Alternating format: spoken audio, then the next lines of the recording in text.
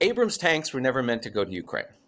The White House was very clear about this. The Pentagon was very clear about this. All the reasons that General Hertling just outlined for the logistical challenges. These are gas guzzlers. I mean, they run best on jet fuel. All of this, we, have heard it. They were never meant to go to Ukraine. The reason they're being sent to Ukraine was to get the Germans to release the leopards, right? It was more of a symbolic thing that was necessitated by German and European intransigence on this issue.